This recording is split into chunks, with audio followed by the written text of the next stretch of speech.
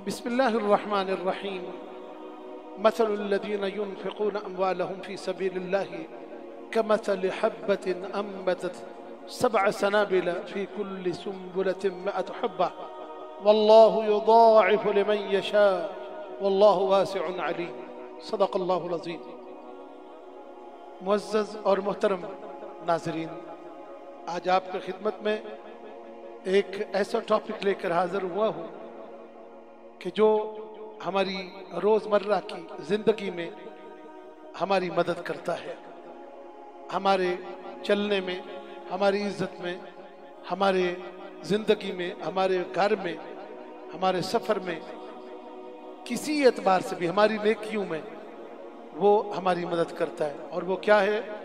वो है सदका। रसूलुल्लाह सल्लल्लाहु अलैहि वसल्लम पर नाजुल होने वाली इस किताब में अल्लाह ताला ने वाज फरमाया फरमाया कि सबीलिल्लाह, अल्लाह की राह में खर्च करने वालों की मिसाल ऐसी है। कमसल हब्बतिन अम्बतत सबअ सनाबिल, कि अल्लाह ताला जिस तरह एक दाने से बाली उगाल, बाली उगालता है, उगाता है, उसके अंदर सौ दाना होता है। एक दाने में से एक जिस तरह आप सिट्टा जिसको कहते हैं, और उसके अंदर फिर सौ दाने होते हैं। और फिर अल्लाह जल्ला शानू वतम महसानू ने इरशाद फरमाया कमसल हब्बतिन अम्बत सब सनाबिला फ़ी कुल्ल सुम्बुलत फ़ी कुल्ल सुम्बुलत में तो हब्बा। अल्लाह जल्ला शानू वतम से एक दाने से सात सिट्टे उगा देता है। यानी, और फिर एक के अंदर सौ दाना कर देता है। और इस तरह अल्लाह जल्ला शानू वतम्मा ईसानू जिस तरह चाहे वल्लाह यशा, अल्लाह चाहे तो इससे भी ज़्यादा उसमें बरकत अता कर दे, बढ़ा दे। और अल्लाह ताला सुनने वाला और जानने वाला है। मेरे प्यारे नाजरीन, कुरान करीम की इस आय करीमा से, जिसकी मैं अभी आपके सामने तलावत की है, यानी एक दाना की मिसाल, जब एक दाना बोया जाता है तो उस दाने के ऊपर से सात बाली निकलती हैं और हर उस एक बाली के अंदर सौ दाना होता है। यानी एक से सात सौ दाना या इससे भी ज़्यादा। इसी तरह कोई बंदा सदका करता है, एक दिरहम, एक रुपया तो अल्लाह जल्ल शानू उस पर इस तरह बरकत अदा करता है, जिस तरह के कुरान पाक की इस आयत करीमा में बयान फरमाया गया। रसूलुल्लाह सल्लल्लाहु अलैहि वसल्लम ने फरमाया, हज़रत असमा रज़ी अल्लाह तु को, आपने इरशाद फरमाया कि सदका जब देने लगो तो गिना ना करो। पूछा, या रसूल अल्लाह गिनना क्यों नहीं चाहिए? मेरे आका करीम ने इरशाद फरमाया, गिनने की ज़रूरत नहीं है अब जब आप गिन के दोगे तो हिसाब भी जवाब गिन के मिलेगा। जब बेहिसाब दोगी तो देने वाला भी बेहिसाब देगा। अब हमारा हिसाब बेहिसाबी तो फिर भी महदूद है। उसका बेहिसाब होना तो बिल्कुल ही शान वाला है। लिहाजा हजूर ने अपने घर, अपने सबसे पहले हज़रत असमा को, यानी अपने करीब रहने वालों को यह हुक्म इरशाद फरमाया। फिर रसूलुल्लाह सल्लल्लाहु अलैहि वसल्लम ने फरमाया कि सदका देना मुझे इतना महबूब है कि मेरे पास अगर ओहद पहाड़ के बराबर सोना हो, मेरे प्यारे नाजरीन, अब जरा गौर करें हजूर की इन फरामीन पर। फरमाया कि अगर ओहद पहाड़ के बराबर सोना हज़रत अल्लाह की रवायत, मैं जो अभी आपके सामने रख रहा हूँ, और ये भी बुखारी शरीफ के अंदर ये रवायत मौजूद है। मेरे आका ने फरमाया कि अगर ओहद पहाड़ के बराबर मेरे पास सोना हो तो मैं तीन दिन और तीन रातें ना गुजरने दूँ और सारे का सारा सदका कर दूँ। मेरे पास कुछ ना बचे। यानी इतना मुझे पसंद है।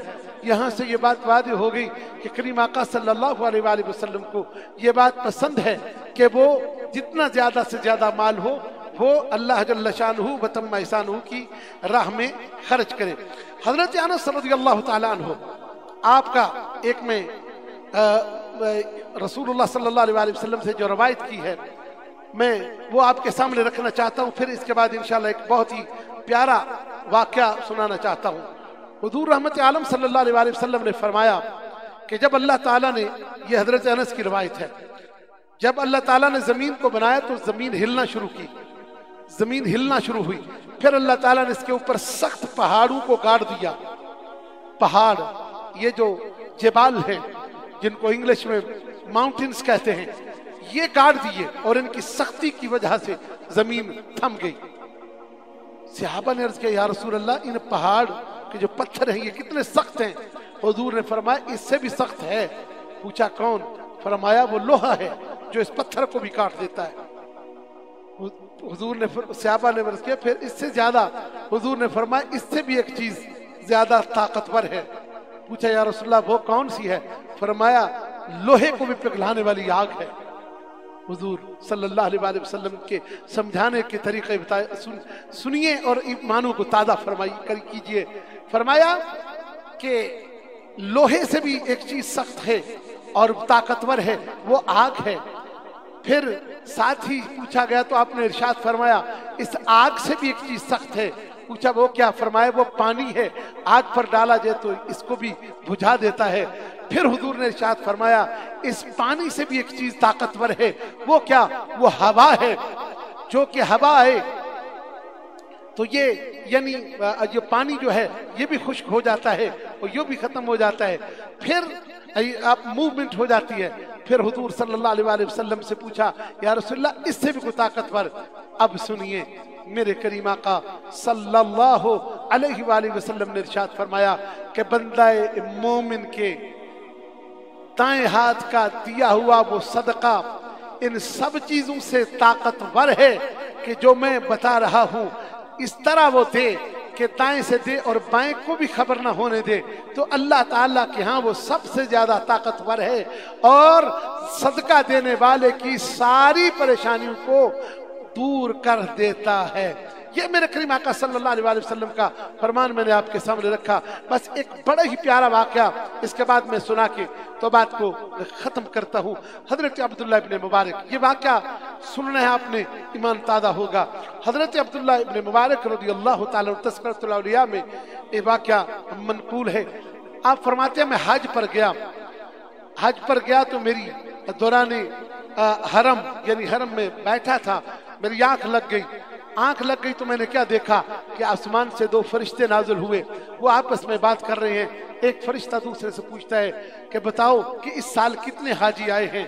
तो दूसरे ने कहा, छह लाख हाजी आए हैं। उसने पूछा, कितने हाजियों का हज कबूल हुआ? दूसरे फरिश्ते ने जवाब दिया, आए तो छह लाख हैं कि है किसी एक का भी हज, इनकी वजह से कबूल नहीं हुआ है। अब जब यह बात सुनी तो हज़रत अब्दुल्ला बिन मुबारक कहते हैं जब ये फरिश्ते ने कहा, छह लाख हाजी आए, इतनी तादाद में आए, लेकिन किसी का भी हज कबूल नहीं। तो मेरी आँख खुल गई, मैं घबरा गया। घबरा के उठा तो मैं परेशानी के आलम में था। फिर दोबारा आवाज़ आई और दूसरा फरिश्ता बोल के कहते हाँ एक बात है कि एक शख्स एक शख्स फुला इलाके में, शाम के एरिया में रहता है, जिसका नाम अली बिन मवाफिक है।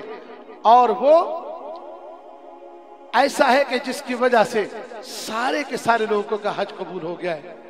पूछा, वो कैसे? उस एक की वजह से इन सब का हज कैसे कबूल हुआ? तो कहा गया कि मैं, हज़रत अब्दुल्ला बिन मुबारक रज़ी अनहो कहते हैं, मैं उठा, उठ के फिर मैं चला, मेरे अंदर ये कपकपी थी, मेरे अंदर तजस्स था कि मैं पता करूँ कि किस तरह वो बंदा अली जिसका नाम है, वो करता क्या, उसका अमल क्या है जिसकी वजह से उसका नहीं बल्कि छह लाख लोगों का हज कबूल हो गया। चलते चलते पहुँचे तो पता चला कि वो शख्स जूते सीने वाला एक शख्स था, उसके पास बैठे जाके उससे पूछने लगे कि मैं अब्दुल्ला बिन मुबारक हूँ, मैं तेरे पास आया हूँ। ये वाक्य मैंने देखा है। मुझे बता कि तेरा अमल कौन सा है, जिसकी वजह से दूसरे लोगों का उसकी चीख निकल गई। वो कहने लगा, अब्दुल्ला बिन मुबारक, मैं तुम्हें क्या बताऊँ? हज तुम करके आ गए हो, लेकिन मैं तीस साल से तड़प रहा था। कि मैं हज जाऊँगा, मैं अपने अल्लाह का घर देखूँगा अपने पिया, अपने आका करीम के रोज़े मुकदसा की हाजिरी दूँगा। तीस साल माल जमा करता रहा, मजदूरी करता रहा, तीन सौ दिरहम जमा हुए। मेरी बीवी हामिला थी। मैं एक रात ऐसा हुआ कि मेरी बीवी हामिला ने गोश्त का, गोश्त की फरमाइश कर दी। मेरे हमसाए घर से गोश्त पकने की समय ला रही थी। मैं गया, दरवाज़ा खटखटाया, इस नीयत से गया कि थोड़ा सा गोश्त उनसे लेकर बीवी को देता हूँ तो इसकी तसल्ली हो जाएगी।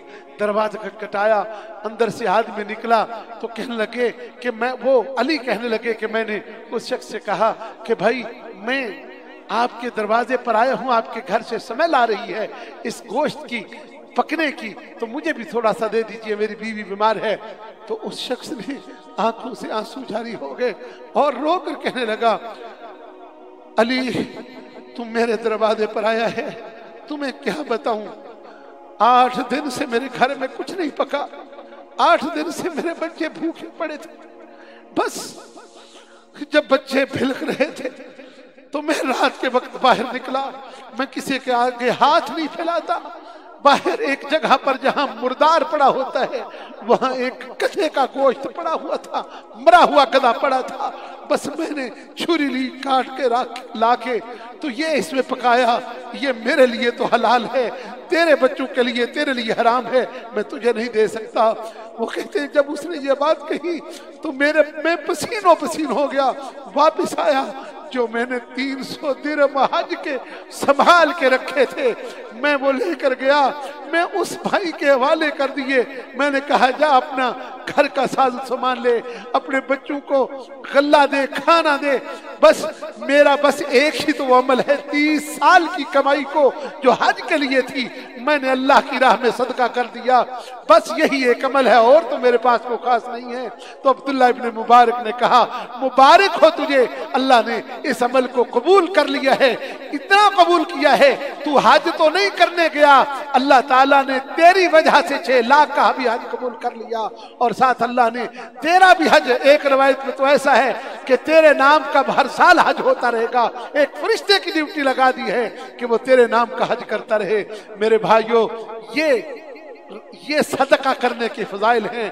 सदका करने की अल्लाह ताला की तरफ़ से इनायात हैं। अल्लाह ताला मुझे और आपको इस पर अमल पैरा होने की तोफीक अता फरमाए। हुजूर ने फरमाया कि सदका बलाओं को टालने की सबसे बेहतरीन सबील है, सबसे बेहतरीन तरीका है। बला की दीवार, बला जब है, वो सदके की दीवार को नहीं फिलांग सकती। सदके की दीवार को बलांग यानी जो बला नहीं फलांग सकती, ना बीमारी फलांग सकती है, ना दुख फलांग सकता है, ना तकलीफ़ फलांग सकती है, ना जादू फलांग सकता है तो अल्हम्दुलिल्लाह, अल्लाह ताला ने हमें तोफीक अता की है, रसूलुल्लाह का उम्मती बनाया है, हमें भी अल्लाह तोफीक अता फरमाए कि सदका खैरात करते रहें। अस्सलाम वालेकुम व रहमतुल्लाहि व बरकातहू।